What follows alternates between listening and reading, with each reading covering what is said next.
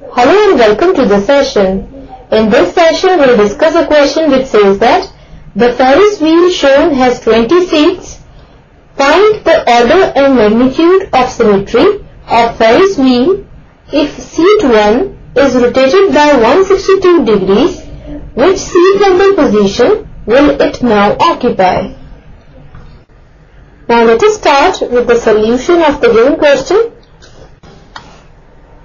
Now we know if a figure is rotated less than 360 degrees about a point so that the image and the pre-image become indistinguishable, then the figure has rotational symmetry. Order of rotational symmetry is the number of times a figure is rotated so that it has rotational symmetry. Now here we are given a Ferris wheel and this Ferris wheel has 20 seats rotated in a circle. Now here we see the seat 1 is rotated by a certain angle when we attain the first rotational symmetry at position 2, second at position 3, third at position 4 and continuing this way we will attain the 19th rotational symmetry at position 20 and 20th rotational symmetry will be attained when we move from position 20 to position 1. So there are 20 ways in which rotational symmetry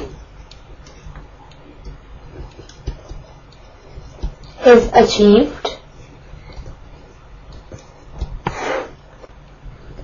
Thus order of rotation is equal to 20 and now we will find the magnitude that is angle of rotation which is equal to 360 degrees upon order of rotation and this is equal to 360 degrees upon 20 which is equal to 18 degrees. So, rotation is equal to 18 degrees. So, we rotate at an angle of 18 degrees to attain rotational symmetry. Now, if seat 1 is rotated by 162 degrees, then we have to find its new position. Now we know that angle of rotation is 18 degrees. So we reach a new position after every 18 degrees rotation. Now in 18 degrees we reached from seat 1 to seat 2 that is from 1 to 2. Similarly in next 18 degrees we reached from seat 2 to seat 3. Similarly in next 18 degrees we reached from seat 3 to seat 4 then next from seat 4 to seat 5 and going along this way we have reached from seat 9 to seat 10 that is in order 1, 2, 3, 4, 5, 6, 7, 8 and 9 that means in order 9 we rotate angle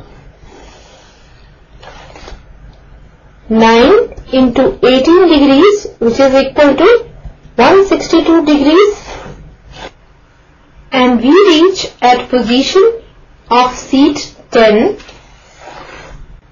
it means if seat 1 is rotated by 162 degrees then the new position is seat 10 now let us find this by calculation here total rotation is of 162 degrees. Now number of rotational symmetries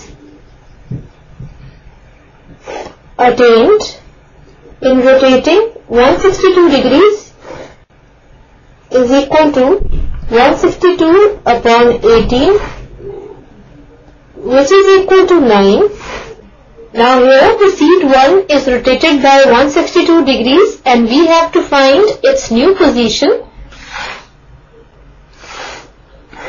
Now for total rotation of 162 degrees we have obtained order is equal to 9.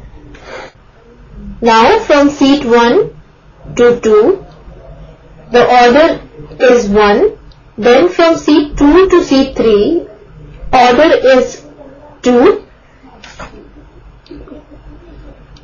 and then from 3 to 4 order is 3 then from 4 to 5 order is 4 then from 5 to 6 order is 5 from 6 to 7 order is 6 then from 7 to 8 order is 7 then from 8 to 9 order is 8 and then from 9 to 10 order is 9. This means in order 9 we reach position 10. So seat 1 is rotated by 162 degrees then its new position is seat 10. So this is the solution of the given question. That's all for this session. Hope you all have enjoyed the session.